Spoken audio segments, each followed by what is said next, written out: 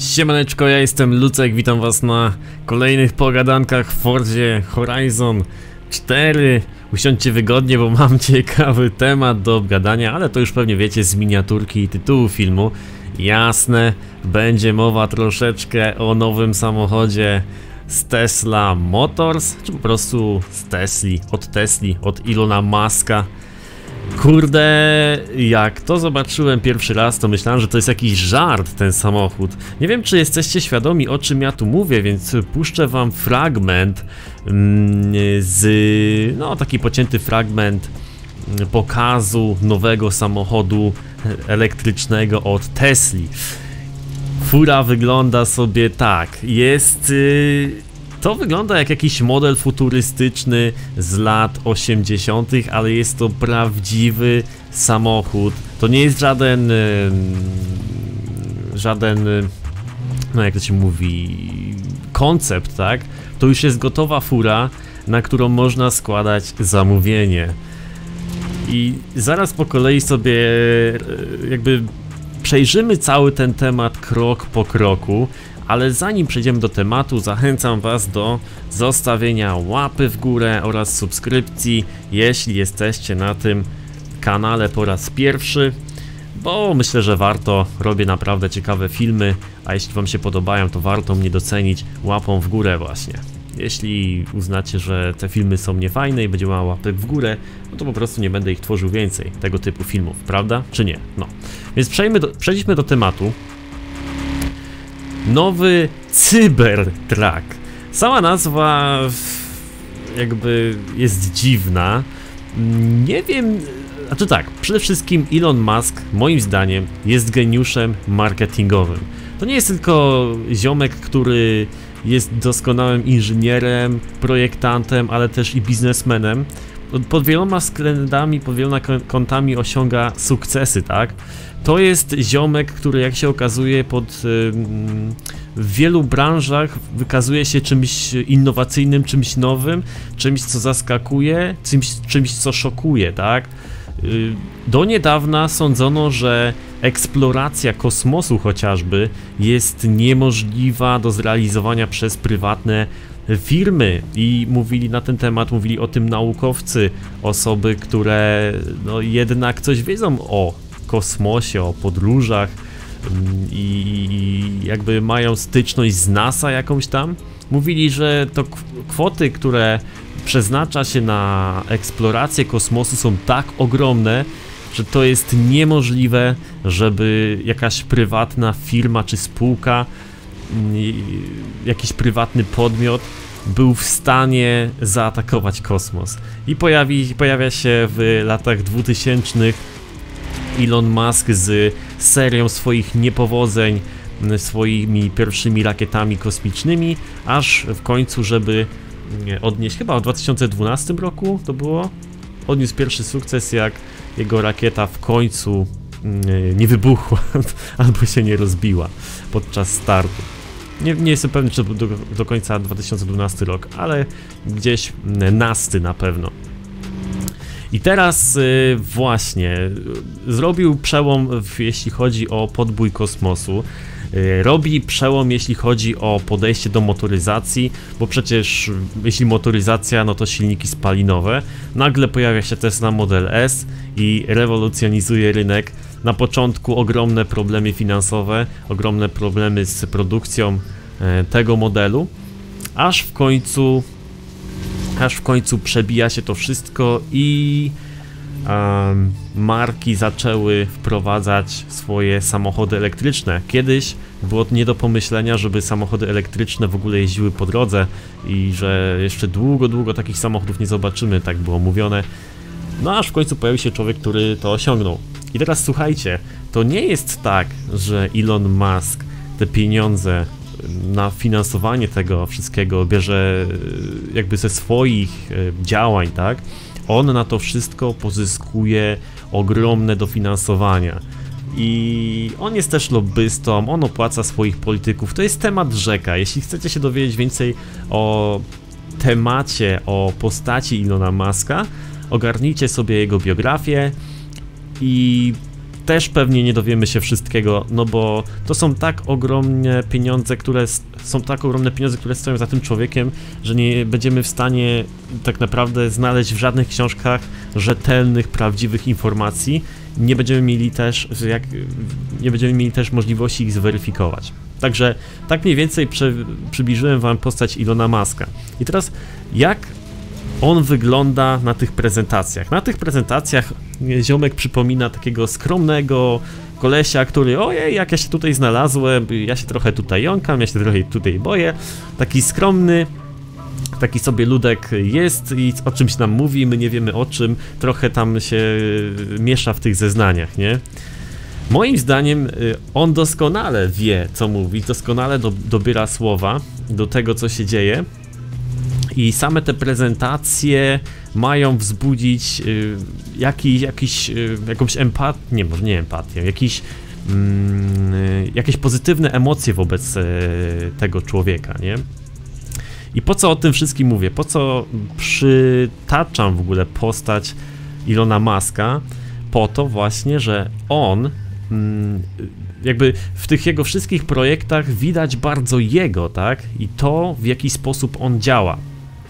Elon Musk jest postacią, tak jak wam powiedziałem, y, z zewnątrz wygląda na takiego skromnego ziomeczka, takiego ziomeczka, który no y, raczej nie powiedziałbyś, że jest jakiś agresywny, tak? Ale jeśli przeczytaliście albo sięgnęliście w ogóle po biografię Ilona Maska i po różne źródła i informacje na jego temat, to dowiecie się na przykład, że bardzo brutalnie traktuje swoich pracowników. Nie mam tu na myśli tego, że ich bije, tak? Tylko po prostu nakłada im bardzo mm, rygorystyczne e, terminy wykonywania zadań, które im przydziela. Jeśli nie zrobisz tego w tym i w tym terminie, wylatujesz. Jeśli się nie wyrabiasz, bo na przykład coś tam, coś tam, wylatujesz bierze samych najlepszych mózgowców, samych utalentowanych inżynierów do swoich prac, tylko po to, żeby osiągnąć swój sukces w niewiarygodnie krótkim czasie. Nakłada o bardzo rygorystyczne terminy na wykonywanie swoich planów. I jeśli jakiś pracownik stracił zdrowie podczas pracy z nim, koniec, wylatujesz, wylatujesz z tej roboty i zastępujecie kimś innym. Tak to u niego wygląda, bez skrupułów nie traci czasu na rozmawianie z osobami, które według niego są głupie. tak to wygląda. I teraz pojawia się taki samochód, który totalnie szokuje wszystkich. Może ja wam jeszcze raz odtworzę to wideo który to, y, totalnie szokuje wszystkim, wszystkich jest czymś nowym, wygląda jak jakiś koncept z lat 80., jakiegoś y, samochodu terenowego albo jakiegoś samochodu futurystycznego. Przypomina coś jak, de, wygląda coś jak terenowy DeLorean, prawda? Niektórzy się śmieją, że wygląda jak yy, cycki yy,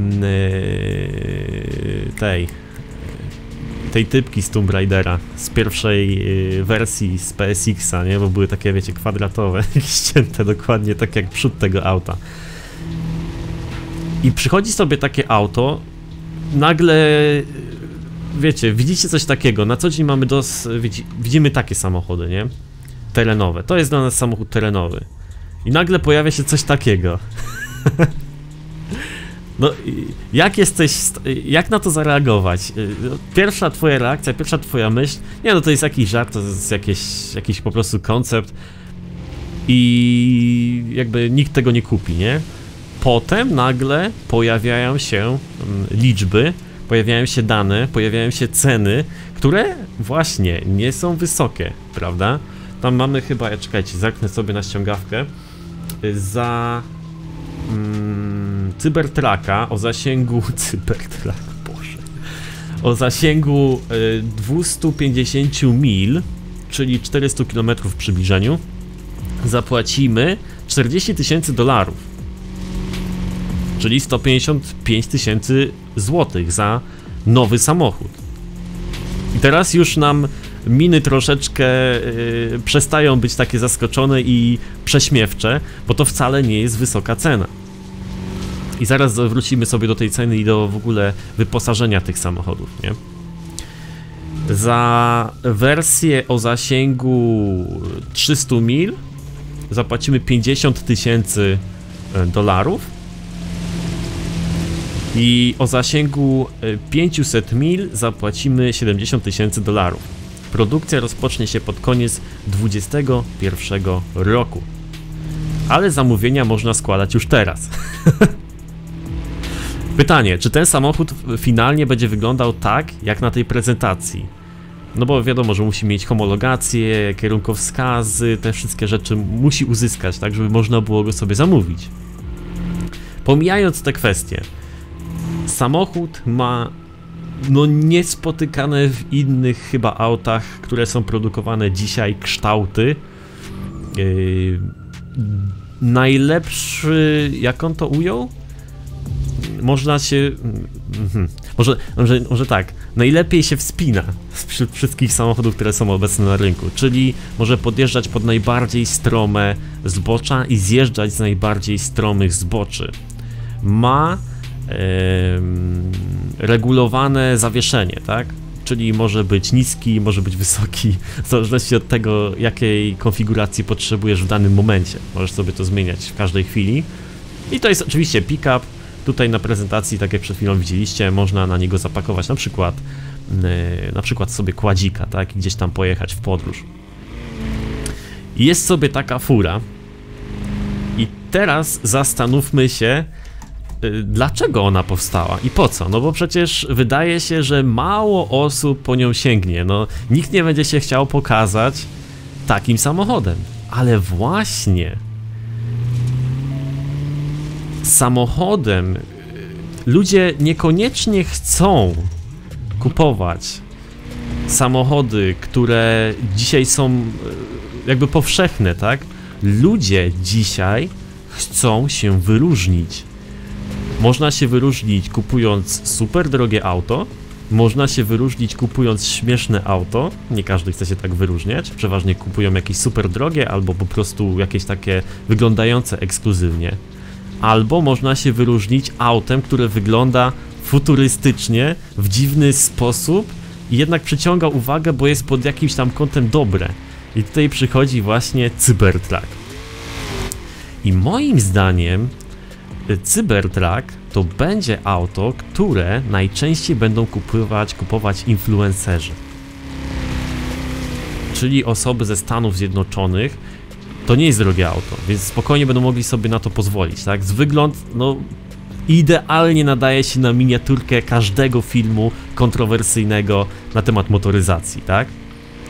I moim zdaniem cała ta sytuacja z tym samochodem chodzi tu głównie o to, żeby jeszcze bardziej rozpromować markę Tesla, żeby pokazać jak bardzo innowacyjna potrafi być, nie tylko pod kątem e, napędu, ale także pod kątem wyglądu.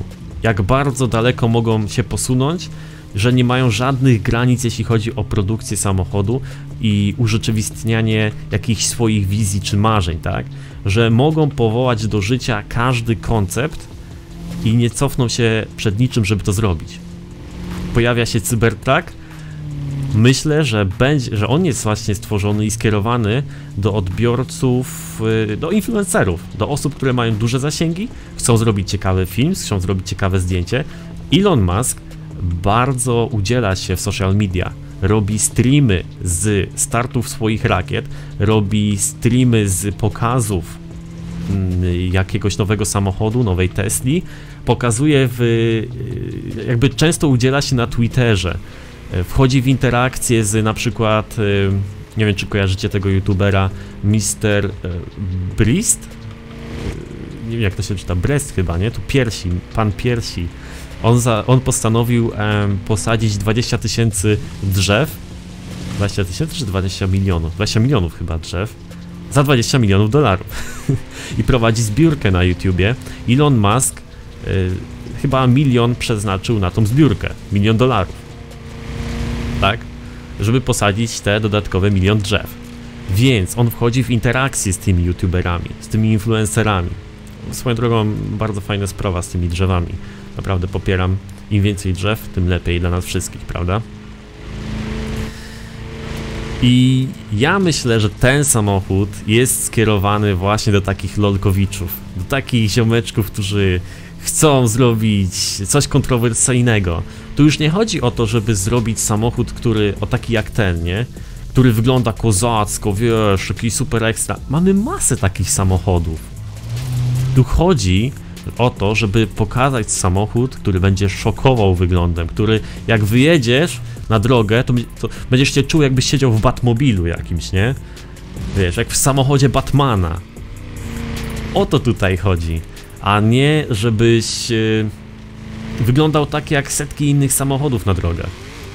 Chodzi o to, żeby klient, który kupi ten tani samochód stosunkowo, patrząc na wygląd, patrząc na parametry, kupując ten tani samochód, poczuł się, jakby miał coś naprawdę zajebistego. Co o tym myślicie? Jakie są wasze spostrzeżenia o Cybertrucku? Bo moje są właśnie takie i myślę, że to jest bardziej skierowane do, do tego, żeby promować markę, żeby pokazać na co ją stać, żeby wejść w interakcję z influencerami, bo samochód jest idealny na miniaturkę, kurde bądź co bądź. No, niby pomyślicie sobie, ale po co by ktoś miał kupować samochód, żeby zrobić fajny filmik, nie? Uwierzcie mi, jest to warte swojej ceny. Cybertruck. Kurde, i ta nazwa. Jakby nie potrafię dalej skumać, czy to jest prawdziwe auto, czy, czy, czy, czy jest ciągle jakiś żart, mimo że jakby sam mogę złożyć zamówienie na tą furę, nie? dalej nie mogę uwierzyć, że takie auto powstało. To są koncept, to są jakby samochody wyjęte z bajki z mojego dzieciństwa. E, kiedyś były takie bajki Transformers, teraz zrobili z tego serię filmów. Były różne inne takie bajki, które się kiedyś tam gdzieś oglądało. No, były takie futurystyczne bardziej, nie? Albo stary jakiś tam Batman, albo na przykład o Total Recall, ten pierwszy nie? Tam były takie kwadratowe furki, o, coś takiego, nie? No jakby każdy chciał zobaczyć taką przyszłość, nie? I każdy sobie identyfikował w ten sposób przyszłość, że tak będą fury kiedyś wyglądały, no, wyglądają inaczej. Przyszłość wygląda trochę inaczej niż na tych filmach z kiedyś. Nadeszła, nie? Ale jednak nie mamy tego, a tu się pojawia taki Taki track. Kurde. Moim zdaniem jest to skierowane do influencerów w każdym razie. I że myślę, że to jest też zrobione trochę dla jaj, oczywiście. Czemu by nie? Mamy dużo forsy, pochwalmy się, pokażmy co potrafimy, czego nie zrobi na przykład Mercedes. Mercedes w dzisiejszych czasach nie wypuści ci takiej fury, tak? Teraz jak e, Tesla postawiła pierwszy krok w robieniu takich jajcowatych samochodów, może się to zmienić. Ale kto wie? No nic moi drodzy, zapraszam was na kolejny odcinek moich przemyśleń na temat motoryzacji i nowinek motoryzacyjnych i nie tylko w, te, w, Boże, w Fordzie Horizon 4. Trzymajcie się, na razie, hejka.